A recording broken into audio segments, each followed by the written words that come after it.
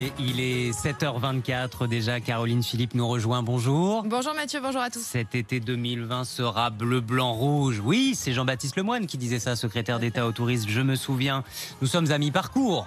4 août, vacances particulières. On va dresser un petit bilan avec vous, Caroline.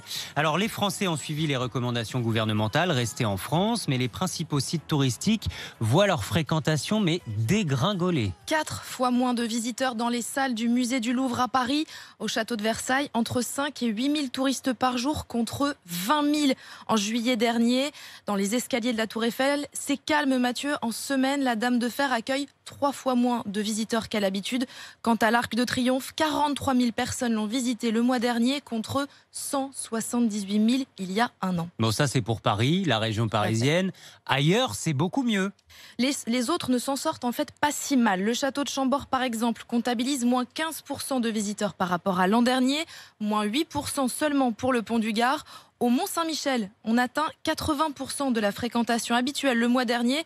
Pour le pont du 14 juillet, elle était même supérieure à 2019. Bon, le problème est le même partout, clientèle étrangère totalement absente. Oui, même si des jauges limitent l'accès de certains monuments en cas d'affluence, c'est surtout l'absence de touristes étrangers qui explique la désertion des sites parisiens très dépendant euh, de ces visiteurs. Cette année, le rapport de force est inversé. Les Français sont majoritaires dans ces hauts lieux touristiques. Par exemple, pour la Tour Eiffel, normalement, 8 visiteurs sur 10 sont étrangers. En juillet, c'est tout le contraire.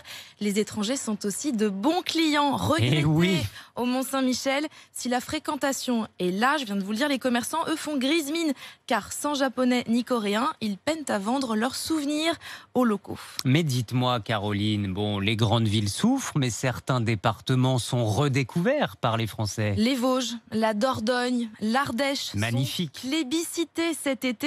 Si l'on en croit les réservations Airbnb qui explosent euh, par rapport à juillet 2019, de manière plus générale, 7 des 10 destinations les plus prisées sur cette plateforme sont des départements ruraux ou montagneux. Mais le littoral reste la destination privilégiée.